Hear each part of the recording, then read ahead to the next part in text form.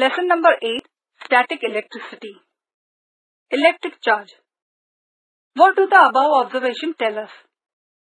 These examples are just a glimpse of an electric charge that all objects in our surroundings hold in abundance. Electric charge is stored even in our own bodies. All substances are made of very tiny particles. Electric charge is an intrinsic property of these particles. Though in this way electric charge is abundantly present, it is always in a hidden state.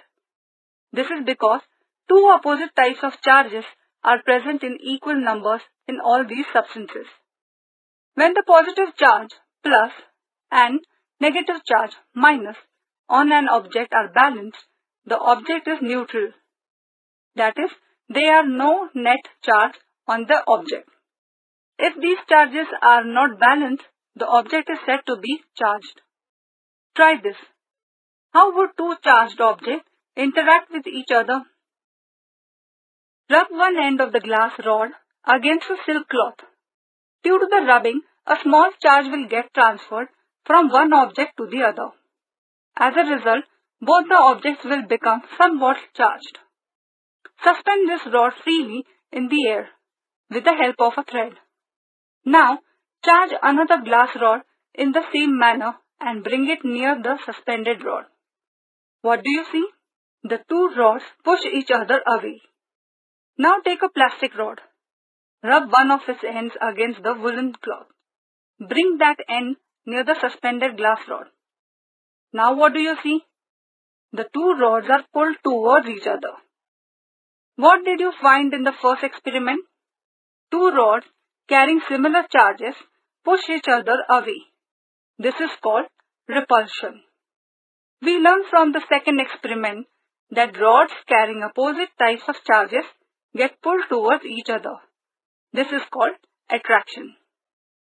The scientist Benjamin Franklin named the electric charges positive charge plus and negative charge minus. What is the origin of electric charge? All substances are made up of particles and these particles are ultimately made up of very tiny atoms. We shall be looking at the details of atomic stationary positive charge and moving negative charges. These two charges being perfectly balanced, an atom is electrically neutral. All objects are made up of atoms, which means that they are electrically neutral. Then, how do objects become electrically charged? For some reasons, the balance of electrically neutral atoms gets disturbed. For example, when certain objects are rubbed against each other, the negatively charged particles on one object go to the other object. The object to which they go becomes negatively charged due to an excess of negatively charged particles. Similarly, the object from which the negatively charged particles go away becomes positively charged due to the deficiency of negatively charged particles. It seems that of the two objects being rubbed, one becomes positively charged and the other negatively charged. Do you know, about 2500 years ago, a great scientist named Thales found that feathers are attracted towards a rod of yellow colored amber which had been rubbed against a woolen cloth. Amber is called electron in the Greek language. Therefore, this property of amber to attract things was named electricity by Thomas Browne in 1646 AD. Frictional electricity. The electric charge generated by friction is called frictional electricity. This charge is produced only at the place of friction. Hence, it is used static electricity. It remains on the object for a short duration. The charges of static electricity are absorbed in moist air. That is why these experiments should be performed in dry weather, particularly in winter. Electrically charged objects attract uncharged objects. There is repulsion between like electric charges. There is attraction between unlike electric charges. Hence, repulsion is used as a test for identifying an electrically charged object. Observe and discuss. Take thermocol balls or mustard seeds in the bottle and shake the bottle vigorously. The seeds try to move away from each other but stick to the bottle. Why does this happen? Try this. 1. To charge an object by contact. Rub a plastic comb against paper. Standard 7 Touch this English comb medium with another uncharged English. comb. Take the other comb near some pieces of paper. What happens? 2. To charge an object by induction. Rub a comb or a balloon on your hair as shown in the picture. Take the comb near a thin trickle of water from a top. See what happens. Now draw the comb away from the trickle and observe what happens. Mark your observation with a tick. 1. When the charge comb is brought close to the flowing water, water gets attracted, repel, remains as it was. 2. When the charged comb is taken away from the flowing water, it gets attracted, repelled, remains as it was initially. At first, the flow of water is not charged. When the negatively charged comb comes near the flowing water, the negative particles in its nearest the comb are pushed away. That part becomes positively charged due to the deficiency of negative charge. The comb has negative and the water has positive charge. Due to the attraction between these opposite charges, the flowing water is attraction between these opposite charges and flowing water is attracted towards the comb. When the comb is taken away, the negative particles in the flowing water come back to their original position and positive and negative charges become equal in number. As a result, the water becomes uncharged again and stops getting attracted to the comb. Try this.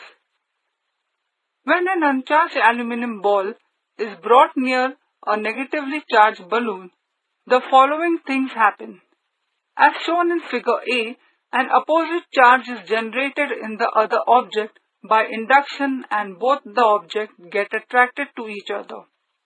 As shown in figure B, on touching, both the objects become similarly charged.